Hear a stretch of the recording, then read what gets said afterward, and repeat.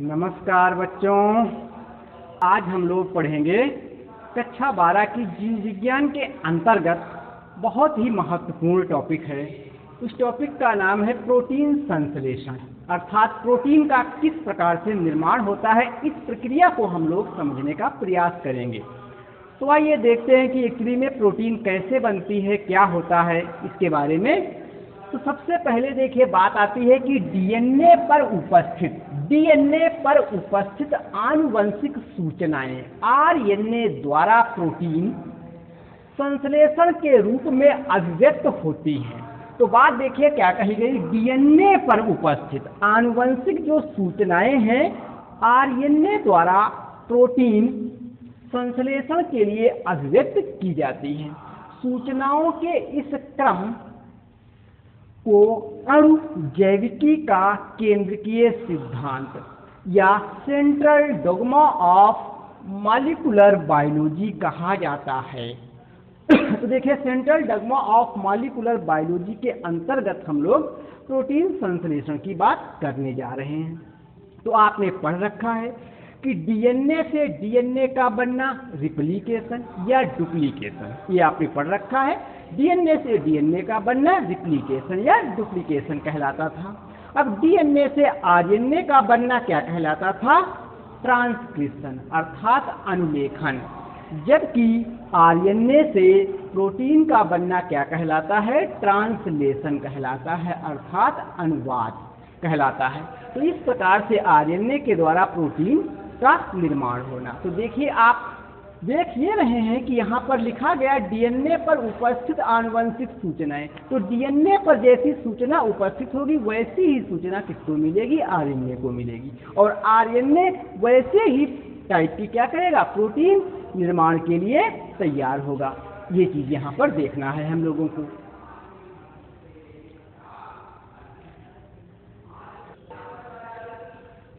तो देखिए, बात करें हैं प्रोटीन संश्लेषण में, देखिए, कह सकते हैं आप we will convert. We will convert a nucleotide sequence on M R N A into sequence of protein. देखिए, डीएनए में क्या लगे हुए हैं? अगर आप डीएनए में, डीएनए किसका बना हुआ है? आपको मालूम है, न्यूक्लियोटाइड का बना हुआ है। डीएनए किसका बना हुआ था? न्यूक्लियोटाइड का बना हुआ था। तो आप कह सकते हैं, न्यूक्लियोटाइड के जो सीक्वेंस लगे हुए हैं किसके? बेस के। इसका कन्वर्जन किसमें? Messenger R N A into sequence of protein sequence of protein का मतलब क्या हुआ? अमीनो अम्लों का चेंज एक प्रकार से। ये मेन सीक्वेंस बनकर आता है।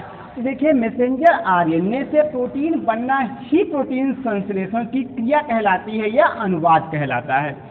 देखिए, इसके अंतर्गत कई स्टेप आते हैं। तो हम लोग पहले स्टेप की बात करेंगे। फ़र्स्ट स्टेप जो आपका आता है, वो स्टेप क्या है? एक्टिवेशन ऑफ़ इनएक्टिव अमीनो अम्ल अमीनो अम्ल क्या? इन निष्क्रिय अवस्था में पड़े हुए हैं, इनको पहले हम एक्टिवेट करें। तो देखिए एक्टिवेशन ऑफ़ इनएक्टिव कह सकते हैं अमीनो अम्ल कैसे करेंगे? तो अमीनो अम्ल जो पड़े हुए हैं, कैसे निष्क्रिय अवस्था में, ये सबसे पहले एडिनोसिन ट्राईफास्फेट जब आता है तो ये क्या करेगा? एनर्जेटिक कर देगा। अर्थात ये एनर्जी दे देगा। किसको दे देगा? अमीनो अम्ल को। जब ये एनर्जी देगा तो ये जो निष्क्रिय थी, ये सक्रिय अवस्था में कन्वर्जन के लिए तैयार होने के लिए एक एंजाइम है। Amino acyl synthetic enzyme amino acyl synthetic enzyme क्या कराता है? एटीपी से अमीनो अम्ल को बाइंड करा करके ये किसमें कन्वर्ट कर देगा? एक्टिवेटेड अमीनो एसिड में कन्वर्ट कर देगा। तो amino acyl adenosine monophosphate enzyme यहाँ पर कन्वर्ट हो जाएगा और दो फास्फेट के समूह निकल जाते हैं। इस प्रकार से एक एक कॉम्प्लेक्स बन जाता है। तो देखिए फ़र्स्ट स्टेप जो आपने देखा, वो क्या देखा? कि निष्क्रिय अवस्था में पड़े हुए हैं आपके पास अमीनो अम्ल तो अमीनो एसाइल सिंथेटिक जो एंजाइम एटीपी के साथ बाइंड कराता है, किसमें? अमीनो अम्ल को। और अमीनो अम्ल धीरे से सक्रिय हो जाते हैं और दो फास्फेट के समूह निकलेंगे भी। तो बन जाएगा amino acyl adenosine monophosphate enzyme complex बन जाता। और ये क्या कंडीशन है? एक्टिवेटेड अमीनो एसिड है।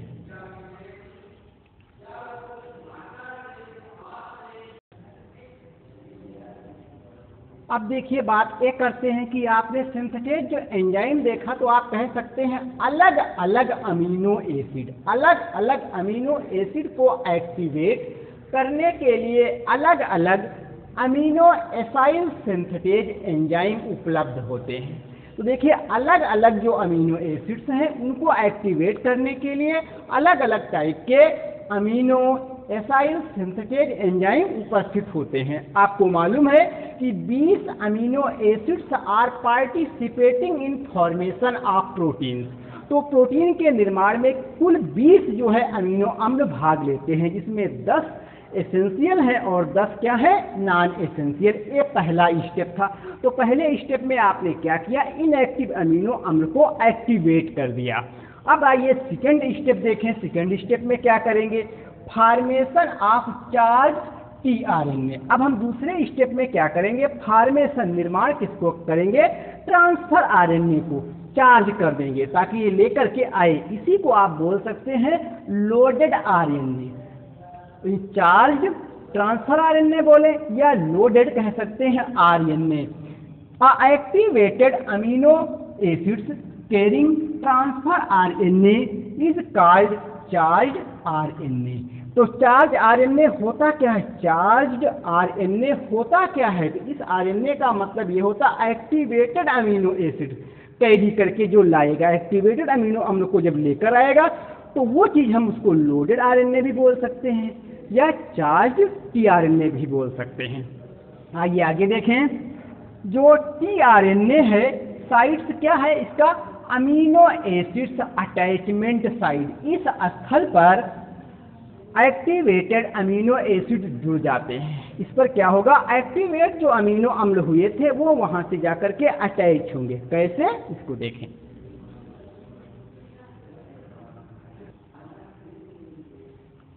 तो आप देखें, देखिए, इस तरीके से ये आपके पास क्या हुआ है? ये transfer R N A loop आपके पास है, ऊपर आपको दिख रहा है जो ये अमीनो एसिड अटैचमेंट साइड, यहाँ पर अमीनो एसिड एसिड जो है अटैचमेंट साइड से ये लूब्स आपके पास निकले हुए हैं टी आर एन ए की। अगर आपने रचना देखी तो लगभग ऐसे ही बनी होती है। तो देखिए, यहीं से पर क्या आपके पास आ जाएगा? Charge T R N A आ जाएगा। इसमें क्या हो रहा है? तो देखिए, amino acyl adenosine monophosphate enzyme complex. पहले स्टेप में मैंने क्या बनाया था? अमीनो एसाइल एडिनोसिन मोनोफास्फेट जो था, एंजाइम कॉम्प्लेक्स बना था, ये क्या था? एक्टिवेटेड अमीनो एसिड था।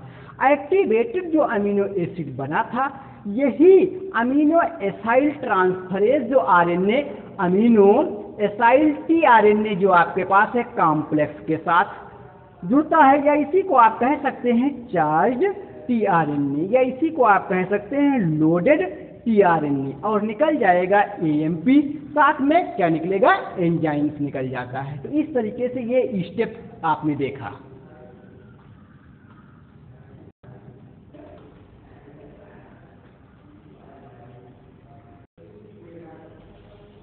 आइए अब देखते हैं हम लोग कि हमें प्रोटीन को बनाने के लिए किन किन चीज़ों की आवश्यकताएँ पड़ेंगी और कैसे प्रोटीन को बनाना शुरू करना है? तो सबसे पहला जो स्टेप आता है, चैन को इनिशिएट करना। चैन को क्या करना? इनिशिएट करना, अर्थात श्रृंखला का प्रारंभन करना। श्रृंखला का प्रारंभ होना कैसे प्रोटीन बनेगी? तो देखिए इनिशिएशन फैक्टर अर्थात प्रारंभन कारक अगर देखा जाए तो प्रोकैरियोट के अंदर तीन प्रकार के कारक पाए जाते हैं। प्रोकैरियोट के अंदर तीन प्रकार के कारक होंगे।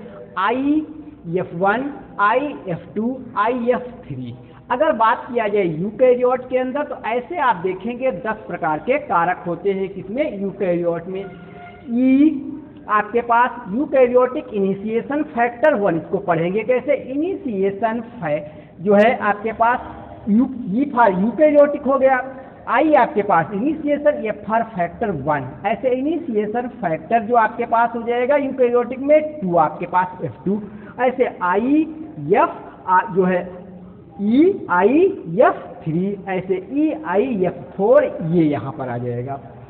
ऐसे देखें, ई, आई जो आपके पास है, एफ़ फोर, बी। ऐसे ये था, बी सी में लग जाएगा। ऐसे E, I F four C E I F four D ऐसे ई आई जो है एफ़ फोर एफ़ आपके पास लगा होगा, ऐसे ई आई एफ़ फाइव ऐसे ई आई एफ़ सिक्स तो कुल ये दस फैक्टर आपके पास है, एक, दो, तीन, चार, पाँच, छः, सात, आठ, नौ, दस। तो देखिए इनिशिएशन फैक्टर यू कैरियोट में कितने हैं? दस हैं।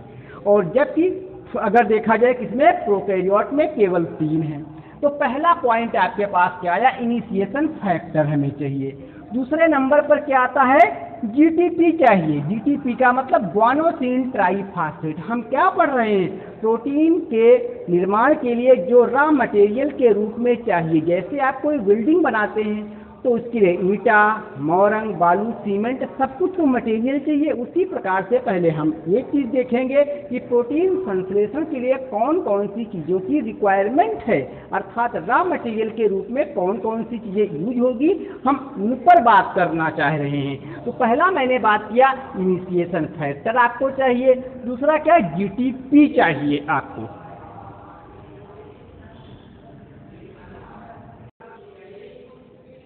तो आगे देखते हैं, देखिए, तीसरे नंबर पर आपको क्या चाहिए? Charge T R N A या लोडेड आर एन ए आपको चाहिए थर्ड नंबर पर। यानी जो चार्ज या loaded T R N A ही आकर के राइबोसोम पर जुड़ता है। यही राइबोसोम से आकर क्या करेगा? अटैच हो जाएगा, जो टी आर एन ए था चार्ज वाला या loaded T R N A अब बात आती है राइबोसोम की यूनिट चाहिए राइबोसोम दो यूनिटों से मिलकर बना होता है। एक स्मॉल यूनिट होती है, एक लार्ज यूनिट होती है। अगर बात करें प्रोकैरियोट में तो प्रोकैरियोट में आपको मालूम है कि 70 एस टाइप के राइबोसोम पाए जाते हैं। 70 एस एस का मतलब है सुडवर्ग यूनिट या सिगमेंटेशन कॉफिशियंट यानी 70 एस टाइप के राइबोसोम प्रोकैरियोट में पाए जाते हैं। इसमें लार्ज यूनिट जो हो जाएगी, कितनी की हो जाएगी? 50 की सब यूनिट होती है जबकि स्मॉल यूनिट कितनी हो जाती है, तीस की आपके पास हो जाती है। ऐसे ही यूकैरियोटिक जो राइबोसोम होते हैं, वो 80 टाइप के होते हैं। इसमें अगर बात किया जाए तो लार्ज सब यूनिट कितनी हो जाएगी? 60 की हो जाएगी। और जो आपके पास स्मॉल यूनिट कितनी हो? जाएगी फोर्टी की हो जाएगी। तो आप ये पढ़ चुके हैं अलेवेंथ क्लास में। कि राइबोसोम कैसे अटैच होता है, आप कंफ्यूज मत करिएगा। क्योंकि सेवेंटी लिखा है तो आप कहेंगे, यहाँ पर हमने फिफ्टी और यहाँ पर थर्टी ये तो कुल एट्टी हो रहा है, लेकिन यहाँ पर आपने सेवेंटी लिखा है। तो उसका कारण आपको बता दें, हालाँकि अलेवेंथ क्लास में आपको पढ़ाया गया होगा कि एक यूनिट ये है आपके पास, दूसरी मान लिया ये यूनिट है आपके पास।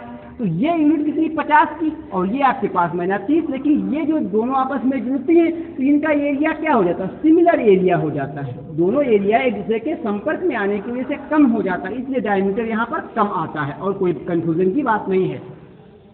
आइए अगली चीज़ क्या चाहिए? इन दोनों सब यूनिटों को जोड़ने के लिए क्या चाहिए? मैग्नीशियम आयन की रिक्वायरमेंट होगी तो मैग्नीशियम आयन रॉ मटेरियल के रूप में चाहिए। और क्या चाहिए? मैसेंजर आरएनए चाहिए। क्योंकि मैसेंजर आरएनए एक्ट एज कह सकते हैं टम्पलेट का काम करेगा। किसके लिए? For synthesis of protein protein के निर्माण के लिए जो मैसेंजर आरएनए होगा एज ए टम्पलेट वर्क करेगा। तो ये था आपके पास क्या? रॉ मटेरियल कि। कौन कौन से रॉ मटेरियल की हमें प्रोटीन संश्लेषण में रिक्वायरमेंट पड़ती है?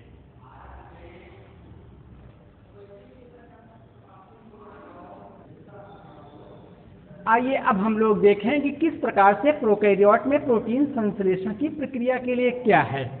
तो सबसे पहले देखिए, प्रोकैरियोट में मैसेंजर आरएनए पर स्थित, प्रोकैरियोट के अंदर मैसेंजर आरएनए, जो आरएनए होता है, उस पर एक साइन डेलगार्डनो सीक्वेंस उपस्थित होता है। जिस सीक्वेंस को हम साइन डेलगार्डनो को क्या लिखेंगे? साइट में एसडी लिखेंगे सीक्वेंस उपस्थित होती है।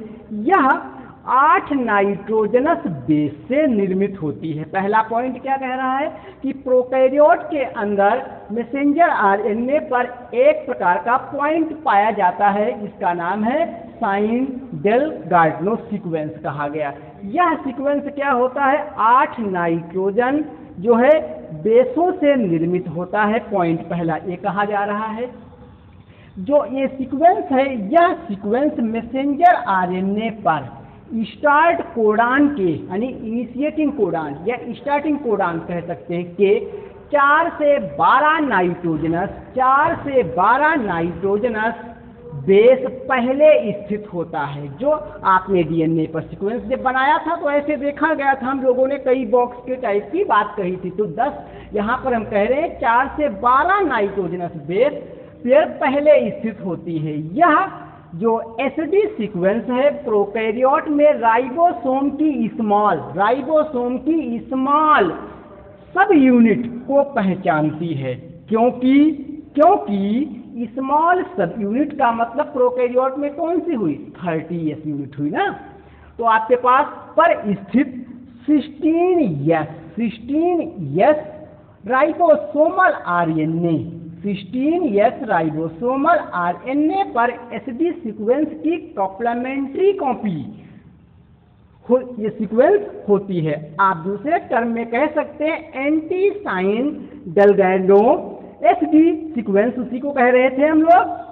स्थित होती है। अब स्मॉल सब यूनिट आकर के मैसेंजर आरएनए पर जुड़ जाएगी। अब जो आपके पास सीक्वेंस है, यहीं पर स्मॉल सब यूनिट के अंदर ही जुड़ता है। स्मॉल सब यूनिट में ही मैसेंजर आरएनए अटैच होता है, ये बात याद रहे।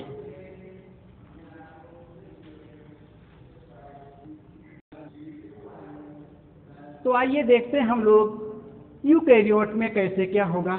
तो यूकैरियोट में मैसेंजर आरएनए पर स्थित क्या होता है? सेवन एम याद करें, जब हम लोगों ने डीएनए पढ़ रहे थे, उस समय कैपिंग की बात की जा रही थी। यहाँ पर फाइव प्राइम इन था, वहाँ पर आप क्या कर रहे थे? डीएनए की कैपिंग। किसके द्वारा कैपिंग करते थे? यही था।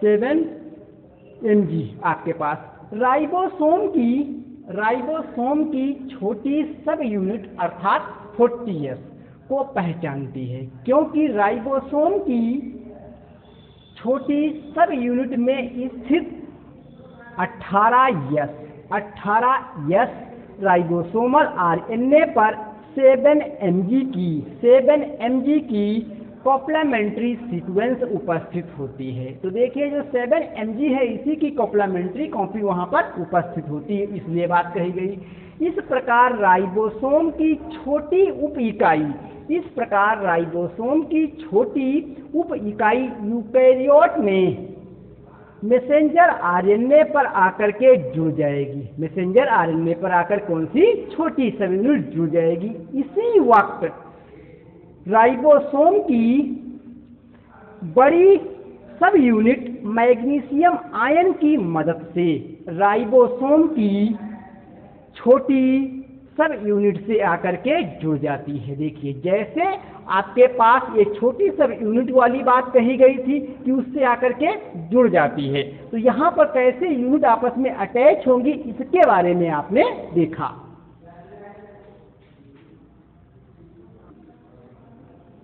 आइए अब देखें राइबोसोम की बड़ी सब यूनिट पर तीन स्थल पाए जाते हैं। देखिए राइबोसोम की एक, एक छोटी सब यूनिट ये आपको मैंने स्ट्रक्चर से में के माध्यम से दिखा रहे हैं हम। तो आप देखें सबसे पहले यहाँ पर क्या देखेंगे आप कि ये आपके पास राइबोसोम है। ये नीचे वाली आपके पास क्या लगी है? छोटी यानी राइबोसोम की छोटी सब यूनिट लगी हुई है। और इसी से देखिए आपके पास क्या पड़ा हुआ है? मैसेंजर आरएनए ये आपके पास डायरेक्शन जो है थ्री प्राइम एंड है, ए फाइव प्राइम एंड लगा हुआ है। और ये आपके पास दिखाई गई राइबोसोम की बड़ी सब यूनिट दोनों सब यूनिट जो है मैग्नीशियम आयन के द्वारा एसोसिएटेड है, अर्थात आपस में जुड़ी हुई हैं। अब हम बात कर रहे हैं कि राइबोसोम की बड़ी सब यूनिट में तीन स्थल होते हैं ई पी और ए। देखिए, हमने स्थल दिखाया है, इनका मतलब क्या है? पी माने क्या होता है?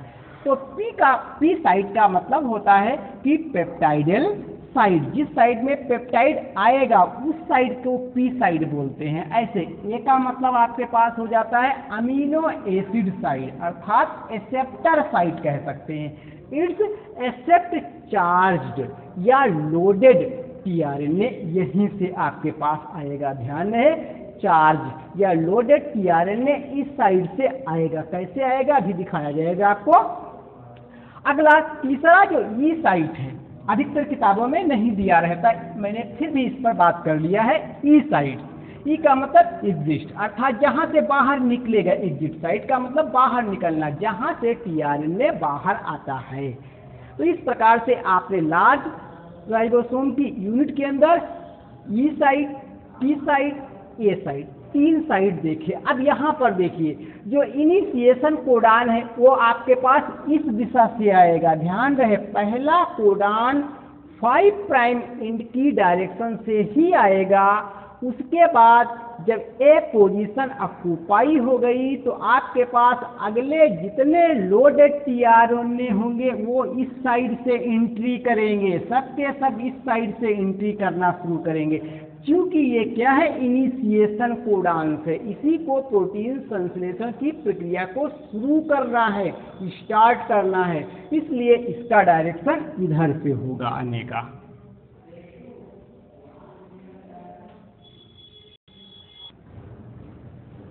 देखें आप इसको।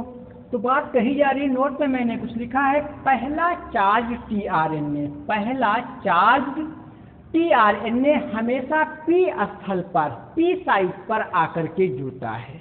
पहला जो लोडेड या charge T R N A था एक किस स्थल पर? पी स्थल पर आकर के जुड़ता है। क्योंकि पी साइट के सामने initiation codons A U G होता है। पी साइट के सामने क्या होता है? इनिशिएशन कोडान होता है आपके पास। इसलिए इसी स्थल से आकर के जुड़ेगा। ये बात कही जा रही है। आगे देखें, ये उसके बाद जुड़ता है, लेकिन आगे इनिशिएशन कोडान स्थित होता है, लेकिन बाकी सभी चार्ज या loaded T R N A ये साइट ये साइट का मतलब ए वाली साइट ए साइट पर आकर के जुड़ते हैं। जैसे ही first charge T R N A या लोडेड आर एन ए आकर के पी स्थल पर जुड़ेगा, श्रृंखला प्रारंभन हो जाएगा। लेकिन अभी ये साइट खाली है। तो आप देखिए, ये आपके पास राइबोसोम की लार्ज यूनिट है। ये स्मॉल यूनिट है। हमने ये दिखाया है, ये है क्या? M R N A messenger R N A पड़ा हुआ है। ये थ्री प्राइम ये फाइव प्राइम इन डायरेक्शन लगा हुआ है।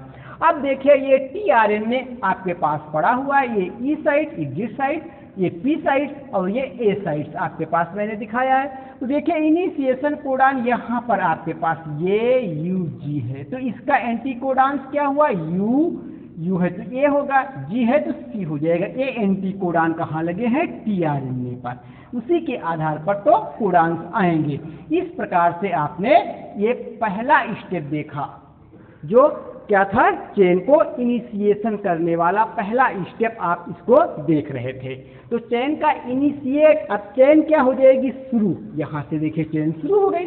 भाई, ये आपके पास आपके पास कौन सा इनिशिएशन आपके पास कोडान आ गया। अब चेन का बनना तो शुरू हो गया। अब बात आएगी चेन को कैसे इलोंगेट किया जाए, कैसे बड़ा किया जाए, क्योंकि प्रोटीन के निर्माण की प्रक्रिया प्रारंभ होने का पहला चरण था इनिशिएशन वो हम लोगों ने देखा।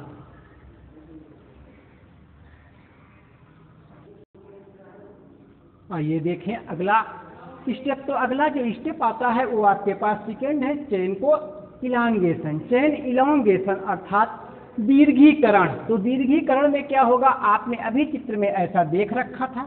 कि आपके पास इस साइट पर जो पी साइट था, वहाँ पर इनिशिएशन कोडान आ चुका था। तो दूसरा जो आपके पास होगा, लेकिन मैंने लिखा है, दूसरा charge T R N A या लोडेड आर एन ए कह सकते हैं, आकर के ए साइड पर जुड़ेगा। ए साइड खाली था यहाँ पर। अब कोई भी अमीनो अम्ल आया और वो यहाँ पर क्या अटैच हो गया तो देखिए ये अमीनो अम्ल था, अमीनो अम्ल फ़र्स्ट ऐसे दूसरा आपके पास अमीनो अम्ल।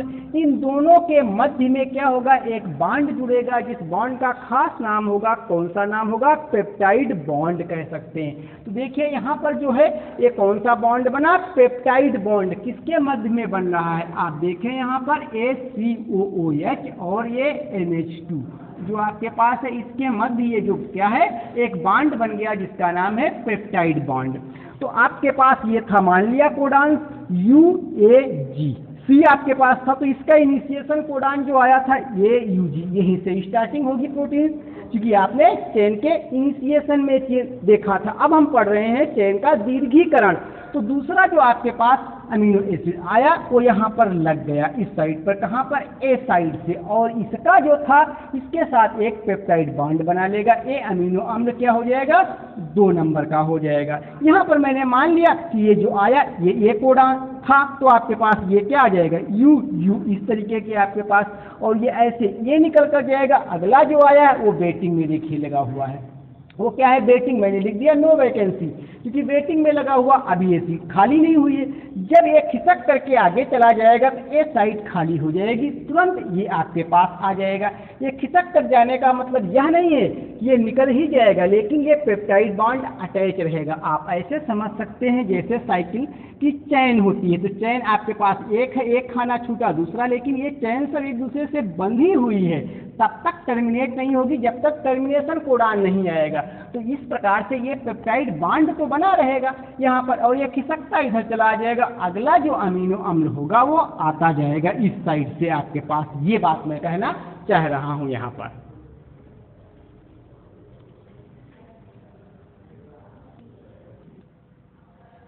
अब देखेंगे आप लोग कि अब अमीनो अम्ल ये की सी ओ ओ एच अर्थात एसिड ग्रुप। व अमीनो अम्ल जो ये टू था आपके पास के एन टू ग्रुप के मध्य पेप्टाइड बॉन्ड बनेगा। अभी आपको मैंने दिखाया था कि अमीनो अम्ल ए और दूसरा जो था, दो नंबर का था। इन दोनों के मध्य में कौन सा बॉन्ड बन जाएगा? पेप्टाइड बॉन्ड बन जाएगा। पेप्टाइड बॉन्ड फॉर्मेशन में पेप्टाइडेस, पेप्टाइडिल, ट्रांसफरेस, एंजाइम भाग लेता है। पूछा जाता है सवाल जो पेप्टाइड बॉन्ड बनने में कौन मदद करता है? तो आपका उत्तर होगा पेप्टाइडल ट्रांसफरेस नामक एंजाइम भाग लेता है। पेप्टाइड बॉन्ड फॉर्मेशन में 23 यस राइबोसोमल आरएनए भी हेल्प करता है। इसलिए इसे राइबोजाइम भी कहते हैं। इसलिए इसे राइबोजाइम भी कहा जाता है। अब बात करें चेन इलांगेशन होने के लिए। यानी चेन का दीर्घीकरण होने के लिए, चेन इलांगेट होने के लिए ये साइड का खाली होना ज़रूरी है। ए साइड अभी आपने देखा था, इधर वाला था। इधर थ्री प्राइम इन था। ए साइड का खाली होना ज़रूरी है ताकि नए चार्ज या loaded T R N A आकर के ए साइड पर जुड़ सके। इस तरीके से एक एक खाली होता जाएगा और एक एक आता जाएगा।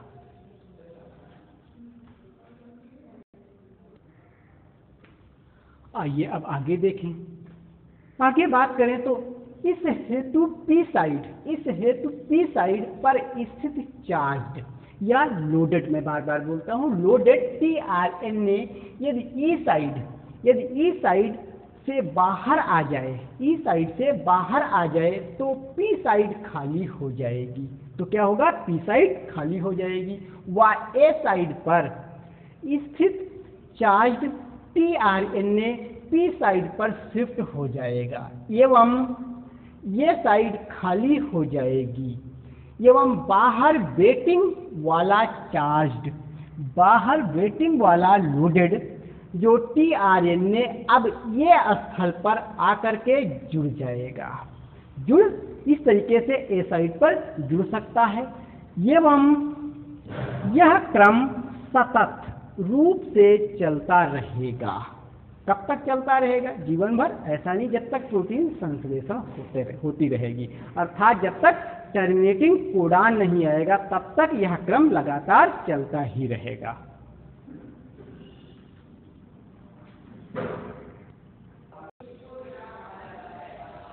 आइए, अब देखते हैं हम लोग आगे की बारे में। तो देखिए, ये आपके पास था राइबोसोम की छोटी यूनिट और ये बड़ी यूनिट आपके पास लगी हुई है। तो देखिए, अभी मैंने बताया था एग्जिट साइड से एक अमीनो अम्ल आपके पास निकल गया। तो जो ए साइड पर था, वो कौन सा आ गया? पी साइड पर आ गया। तो जो वेटिंग वाला था, वो वेटिंग वाला अंदर की तरफ़ आ गया। ए अमीनो एसिड वन है, अमीनो एसिड टू है अमीनो एसिड थ्री है। देखिए, चौथा अभी क्या लगा हुआ है? बेटिंग में लगा हुआ है आपके पास। तो ऐसे जो आपके पास अमीनो अम्ल था, इनके बीच में एक अमीनो अम्ल के दूसरे में और दूसरे से तीसरे में, देखिए, सभी के बीच में पेप्टाइड बांड द्वारा एक चैन जिसे साइकिल की चेन होती है, एक के बाद एक ऐसे बनती चली जाती है और एक एक खिसक करके ऐसे चले जाते हैं। तो यहाँ पर मान लिया मैंने कि codon anticodons A A था तो कोडांस आपके पास, यू यू आ जाएगा, जो भी आएगा उसके रिस्पेक्ट में कोडान आते चले जाएँगे। ए फाइव प्राइम इंड है, ये थ्री प्राइम इंड है।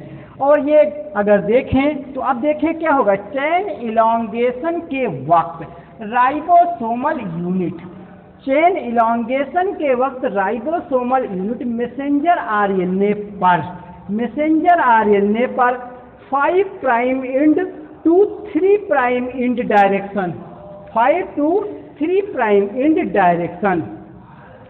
में ट्रांसलोकेशन करती है, इधर की तरफ़ शिफ्ट करती है, आपको दिखाया गया। ट्रांसलोकेट एंजाइम ट्रांसलोकेट एंजाइम की उपस्थिति में एवं इस प्रकार नए नए कोडांस ए साइड पर आते चले जाते हैं। इधर की तरफ़ खिसकती जाएगी और नए नए कोडांस ऐसे क्या हो जाएँगे? आते चले जाते हैं। कहाँ पर? ए साइड के सामने आते रहते हैं। हम इसके कहा गया अनुसार अमीनो एसिड भी जुड़ते चले जाते हैं। अब एक खिसक करके ये वाला जब इधर आ जाएगा, ये यहाँ पर आएगा और ये जो वेटिंग वाला है, यहाँ पर आ जाएगा। इस तरीके से चेन का लगातार इलांगेशन होता रहता है।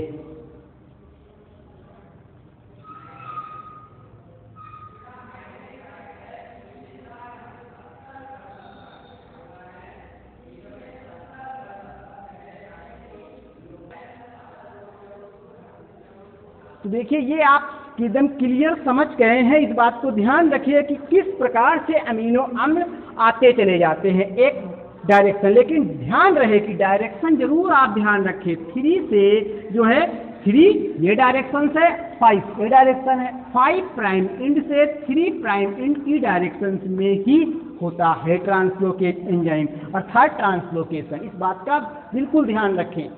तो इस तरीके से आप देख रहे हैं कि अमीनो अम्ल किस प्रकार से प्रोटीन बनेगी? अर्थात तो प्रोटीन देखिए आपके पास बनने की प्रक्रिया, इस प्रकार से पेप्टाइड बॉन्ड खिसकते चले जाएँगे और प्रोटीन बनने की प्रक्रिया चल रही है। क्योंकि हम लोग क्या पढ़ रहे हैं? चैन का इलांगेशन।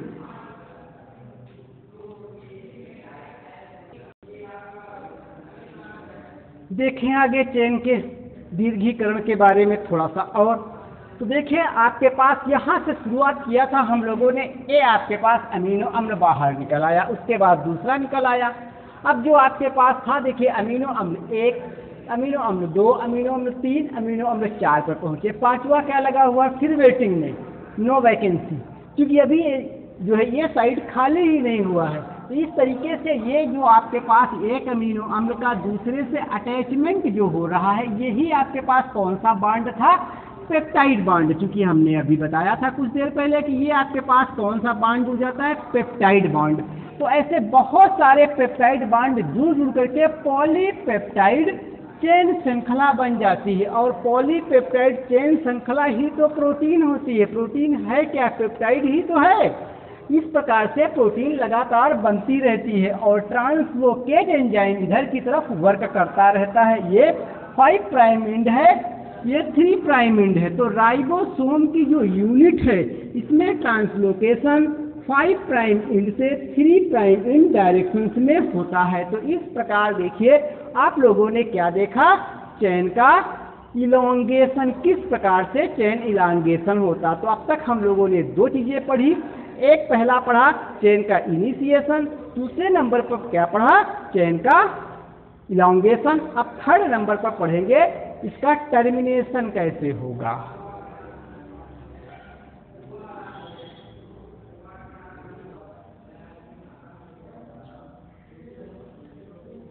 आइए अब हम लोग देखते हैं चैन का टर्मिनेशन अर्थात श्रृंखला का समापन किस प्रकार होगा? तो श्रृंखला के समापन के बारे में तब तक श्रृंखला चलती रहती है तो इलांगेशन का क्रम तब तक चलता रहता है जब तक कि कोई भी एम आर एन ए पर, एम आर एन ए पर कोई भी स्टॉप कोडांस या नॉन सेंस कोडांस ना आ जाए। तो मैं क्या कह रहा हूँ कि चेन का इलोंगेशन का क्रम तब तक चलता रहेगा, तब तक चलता रहेगा जब तक मैसेंजर आर एन ए की सतह पर कोई स्टॉपिंग कोडांस या नॉन सेंस कोडांस ना आ जाए। अब बात आती है कि स्टॉप कोडांस आने पर प्रोटीन चेन फॉर्मेशन रुक जाता है। क्यों रुक जाता है? अभी बात करते हैं। अब पहले बात करें कि कौन कौन से कोडांस हैं स्टॉपिंग कोडान तो आप स्टॉप करने वाले कोडान मालूम है यू ए ए, जिसका नाम ochre. U A G, amber. U G A, opal. इस प्रकार से आपके पास तीन जो है, क्या है? ये नॉन सेंस कोडान है, बहुत पेपर में पूछे जाते हैं कई बार। इन स्टॉप कोडांस का कोई एंटी कोडांस नहीं होता, क्योंकि टीआरएनए की जो सतह लगी थी, इनके कोडांस का कोई एंटी ही नहीं होता है। तो देखिए हमने क्या कहा स्टॉप जो कोडांस हैं, का कोई एंटी कोडांस नहीं होता वह एक किसी अमीनो अम्ल को कोड नहीं कर सकते। इसलिए कोड नहीं कर पाएँगे क्योंकि एंटी कोडांस होना चाहिए, तभी तो कोड मैच करेगा। जब एंटी कोडांस नहीं है तो कोडान उससे मैच नहीं करेगा, अर्थात पॉलीपेप्टाइड श्रृंखला स्टॉप हो जाएगी, ये बात कही गई।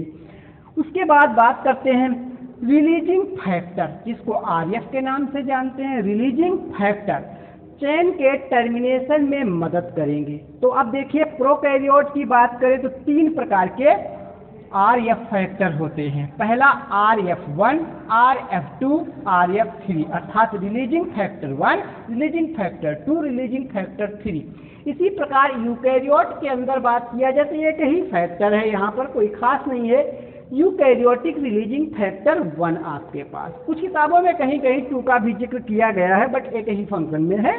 ये यूकैरियोटिक रिलीजिंग फैक्टर वन इस प्रकार से टर्मिनेशन की हम लोग बात कर रहे हैं।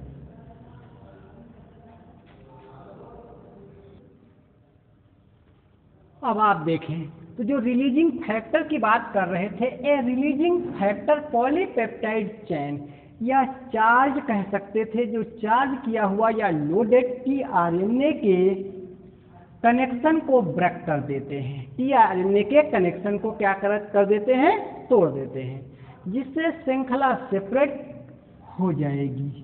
अब देखिए ये आपके पास वही राइबोसोम की स्मॉल यूनिट पर राइबोसोम की जो है क्या होता है? एम एन एस जो आपके पास आता था, वही सेम चीज़ है। तो ए साइड पर जैसे टर्मिनेशन कोडान या कोई स्टॉप करने वाला कोडांस आया, तुरंत क्या हो जाएगा? क्योंकि उसका कोई एंटी कोडान नहीं है। इसलिए क्या हो जाएगी? श्रृंखला समाप्त हो जाएगी। जो यहाँ पर आपके पास क्या? अमीनो अम्ल अमीनो अम्ल अमीनो अम्ल सब बने थे।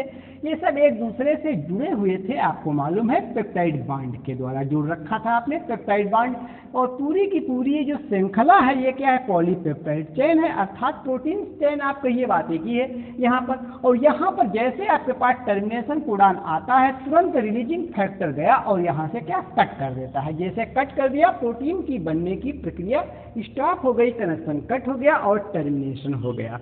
तो इस प्रकार से इस वीडियो में आपने पूरी की पूरी प्रोटीन संश्लेषण की प्रक्रिया को आपने सामान्य टर्मिनोलॉजी के अंतर्गत पढ़ाने का मैंने प्रयास किया है। बच्चों, ये टॉपिक बहुत ज़्यादा टफ माना जाता है जीव विज्ञान के अंतर्गत। इसलिए इस वीडियो को कई बार देखें और निश्चित रूप से जो मैंने आपको इनिशिएशन इलांगेशन टर्मिनेशन तीनों स्टेप में प्रोटीन संश्लेषण बताई है, आपको समझ में आ जाएगी।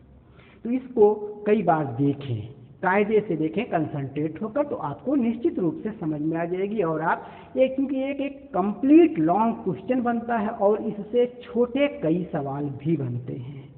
इनिशिएशन कोडान टर्मिनेशन कोडान अन्य बीच के कई स्टेप बनते हैं। सभी सवाल इसी में आपको मैटर में सम्मिलित कर दिया गया है। इसलिए इस वीडियो को ध्यान से, कायदे से दो तीन बार देखें तो आपको वीडियो बिल्कुल समझ में आ जाएगी प्रोटीन संश्लेषण की वास्तविक प्रक्रिया क्या होती है। इसी के साथ जय हिंद, जय भारत।